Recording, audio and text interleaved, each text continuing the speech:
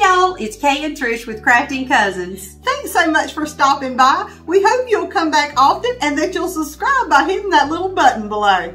Now, let's craft y'all.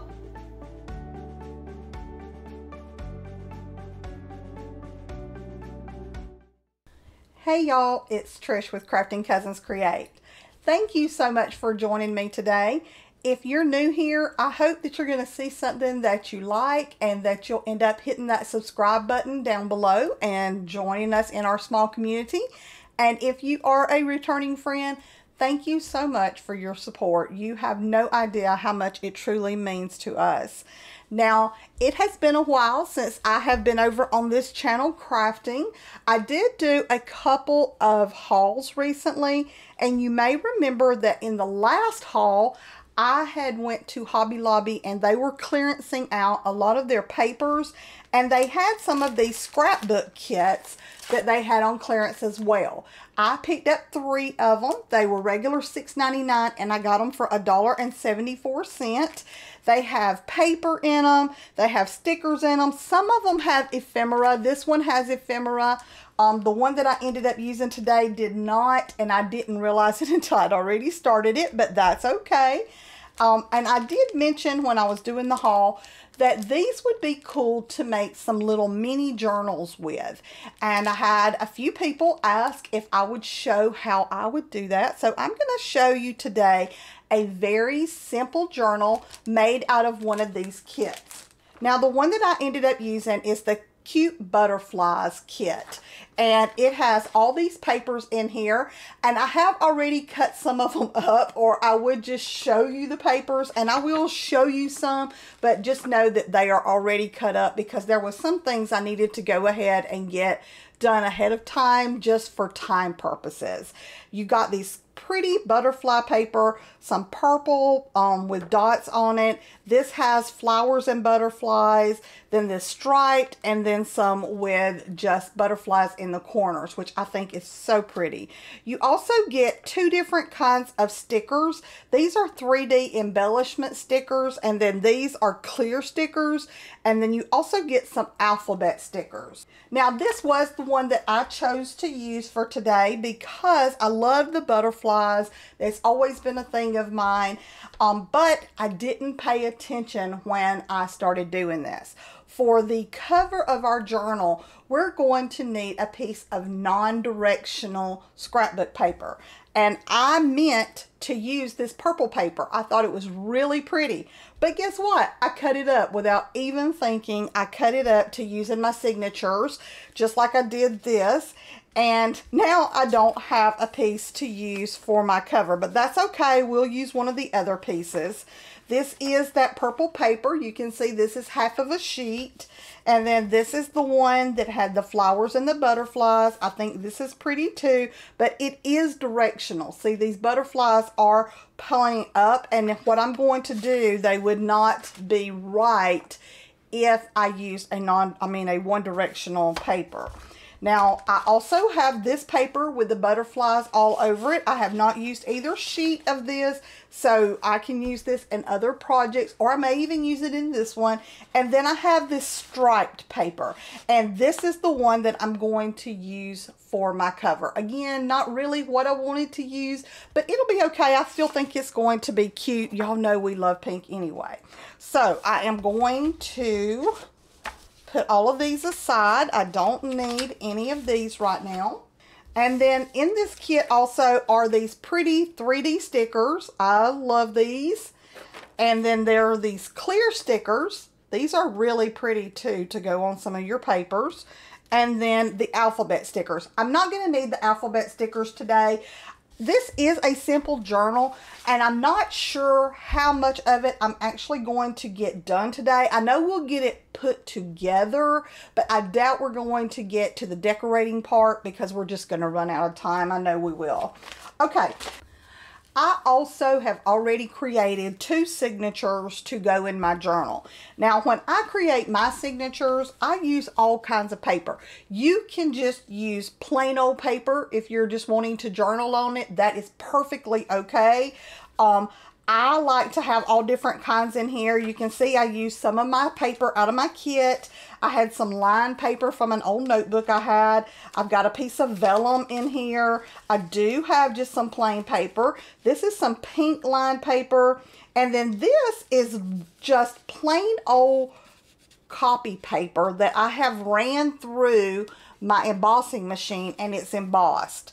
And that's just kind of how it goes. I took a page out of a book that I had that I've been using in journals. And then I also have a little bag. I cut one end of it off. I ran it through my embosser to give it some texture. And I use that in there. And that's kind of how I do my signatures. Now, of course, again, you can just use line paper. You can use plain paper. This is your journal. You use it however you want to do it. Okay, so now for the cover of this. This is going to be really simple. This is a 12 by 12 sheet of paper. And we are just going to fold this. Now, I do want to fold it in half because I want it to be six inches. And I'm not going to use my scoreboard today. And I chose not to do that because I do realize that not everyone has one. And I want to show you how you can still do these projects even if you don't have one.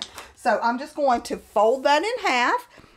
And I am going to use my bone folder just to get a nice crease in it. Now, if you don't have one of these, you can use a credit card. You can use one of the scrapers like you use um, for your Cricut machine or something. I got this, I think at Hobby Lobby for like two or three dollars and they're well worth the investment.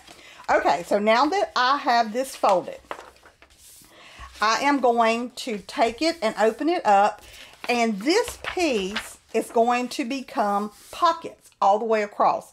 So I don't want it to be all the way to the top.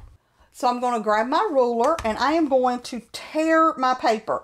Now I love a deckled edge on my paper. I just, I always have. I don't know what it is about it.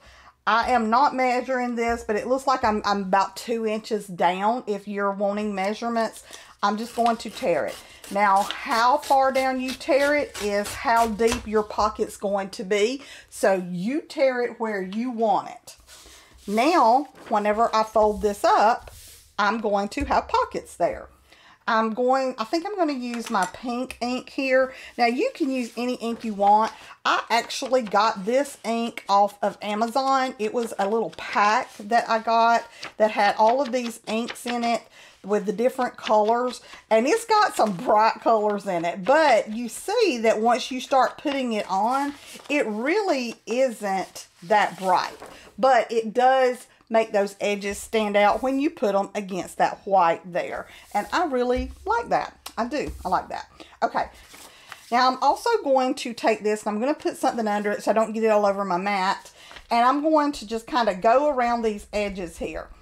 I don't like it to be plain white. Normally I would have tea dyed this, but I didn't think it would all tea dye nicely. And you know, it doesn't hurt to have some white sometimes. It can be really pretty and bright. And I'm just going to go around these edges. And I am also going to hit these edges. And I'll do this side as well. I am going to go all the way around. I may round off these corners. I have not exactly decided yet. I have in my head how I want this to look, but y'all, I change my mind as I go. Do you do that when you're working on your projects and you start seeing how it's coming together and then you just start changing things? And that's what I do. I love it. Okay, so now I have that done.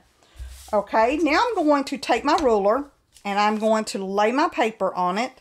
Since I'm not using my scoreboard, I am going to just line it up and I'm going to come to about three and a quarter inches in. It doesn't have to be exact. And I'm going to fold it. Okay. So we're just going to fold that. We'll get that there and then use our bone folder. Just like that. I'm going to open it back up and I'm going to go to six and a half inches and I'm going to fold it there. May go over just a little more. You want to leave a little bit of area for your signature. Don't know if you can see that. So I'm going to go over just a little hair over six and a quarter, maybe six, uh, I mean six and a half, maybe six and three quarters, not sure. Okay, and we are going to fold that. That gives us that. And then we're going to do the same thing here. We are going to, I'm not even going to measure it this time. Well, actually, let's see. We have a little less than two inches left. So I'm going to go over about right here and fold it again. So that is about one and three quarters inch from this edge. Okay. So I'm going to fold it again and then use my bone folder. All right. And this is going to be our cover. Now, when we open it up, it folds out and you see that we have our little journal. And you can see that our signature is going to fit right here in this corner. And then I'm going to put another signature here in this one. And then this is going to fold over. And let's see, I'm going to come over. Okay, let me take these back out. This one anyway. I'm going to come over maybe an eighth of an inch from where I folded that the first time. And I'm going to make another fold. There we go. And that's just going to kind of give it like a little spine there. And that's going to help once we get our signatures in. See, now that's going to help. And see how it sits now? Yep, and that's how it's going to go. That's how it's going to look right there. All right, so let me take these signatures back out. And we're going to do a little bit of gluing. Now, whenever you fold this, you notice that it sticks out a little bit. That's okay because once you put your glue on, that's going to fix that. So I am going to come just right here along this edge here. And I'm going to do the same thing over here. Now, you can also put a little bit of glue um, down these folds if you want to so that your pockets are glued down. But when we put our signatures in, it is going, we're going to be sewing into this one and this one. So I really don't feel like I need it. Um, I may put some, no, yeah, I don't, I don't think I'm going to glue those because I think everything else we do is going to fix that. All right, so now I got my glue. I'm going to press this one down just like that. A little bit of glue there. And then we're going to come over here and we're going to line this one up along the edge and we're going to press it down as well. Okay, and there you go. Just that easy. All right. Now, this is where we're going to put our closure. So I want to do something right here that you're going to be able to see when this is shut. The happy is too big. We could do this that says the best times. Or we could do the butterflies. The butterflies are really cute since we're using butterflies. I think that's what I'm going to do. I think we'll put the butterflies there. But I don't want to put them in the middle because that is where I'm going to put my closure. So let's just put those there, just like that. How cute is that? I like that. All right, let's go ahead and put our signatures in, and then I'm going to figure out what all I want to do with these pockets, okay? So, I am going to be sewing my signatures in. Please do not let that intimidate you. Please do not. It is not intimidating. I promise you it's not. It's just simple stitches. I'm going to take a piece of my paper that I cut down to use in my signature and I'm going to use this as a template. Now it's folded in half just like my signature is. So now what I'm going to do is I am going to fold it in half this way and that's going to be where I put my middle hole and then I'm going to fold it down about right there. And you notice I'm folding it together because that's going to give me my other two holes. All right. So now I open this up and I have my three points where I'm wanting to do my signature. And I'm going to use my awl and I'm going to go ahead and make a little hole there so that I know. All right. And we're going to stick that right there. Now to sew this together, I think I'm going to use some of this thread. I think I'm going to use this dark pink thread. I think this will be pretty to sew these in with. And then we can also use it for our closure. Okay. I have a large needle. This is a darning needle. It has a really big eye on it. And I'm just going to thread my thread up in there. And then we'll cut that off. Now let's take one of our signatures. I think I'm going to put this one in first. Okay. And we are going to make sure everything is lined up and that it's nice and tight. It does. You can see I'm using all different sizes of paper. So those do not have to be even. I think it actually gives it more interest when they're not. But if all of your paper, if you're just using all lined paper or you're using all um, plain paper, then you may want yours to all be the same size. But when you're using all different kinds of papers, then I choose not to. Okay, so now I've got it and you want to push it up in there. Make sure it's lined up the way you want it and push it in there. And then we're going to take our template and we're going to push it in there as well.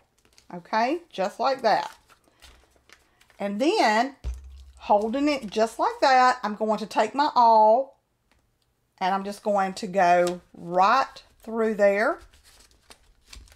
I've got mine a little bit thick and that's going to give me my hole, my first hole, okay? Then we're going to go right here through this one and this is going to be our top hole. And then we're going to go here through this one and this is going to be our bottom hole. Okay. Now, I'm going to leave my awl there to hold that. And we are going to start our first stitch. We're going to go, we're going to push it through that middle hole. And you're going to pull it out. Making sure you leave a tail here. Okay. And then we're going to come right here and come back through this hole. Just like that. And you want to pull it till it's pretty tight. You don't want it too tight because you don't want to tear your holes. And then we're going to come down here and we're going to go back through the bottom hole and push it out. And then we'll come back here to the center and we're going to go right back in through our center hole. We're going to go right back through our center hole there and pull it through. And you've just sewn in your first signature, just like that. Now, I like to put one string on one side and one string on the other, just like this. And then you're going to make sure that it's tight, just like that. I'll pull this out and I am going to tie it into a knot.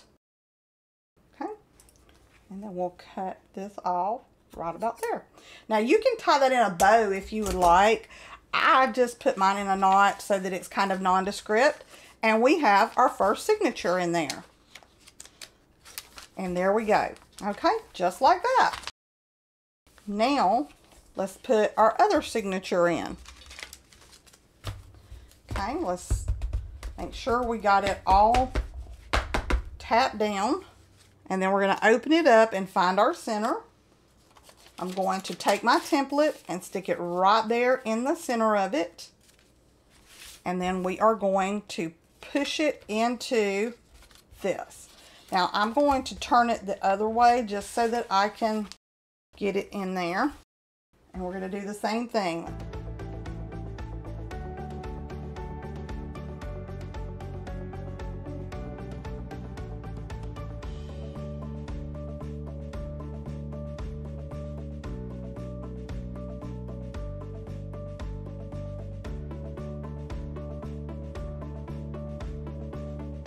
We now have a journal. We will fold this, then you fold this, and this folds over. And we have our cute little journal, just that easy. We even already have our decoration on the front of it.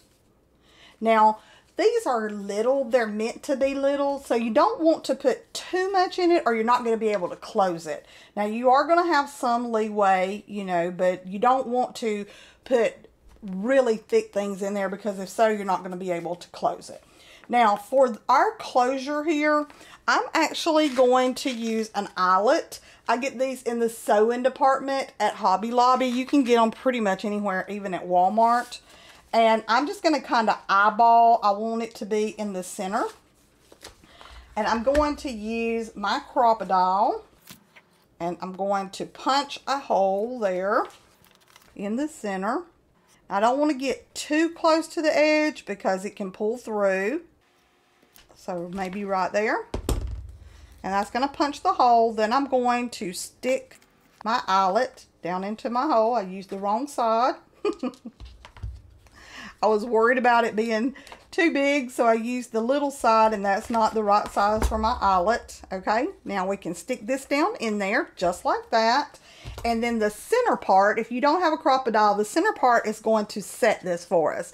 There is a little piece that sticks out right here, and then there's a um, piece over here where it just sits down in it.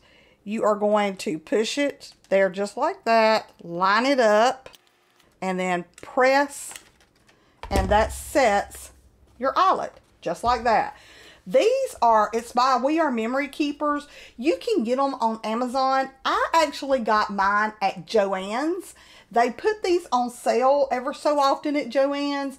And then they also had a coupon for 25% off your total order. And when they do that, they will let you use it even if it's on sale. So I used that 25% off coupon and it was on sale and I got it for like $20. So they can be really expensive, but if you get them like that, they're not so bad.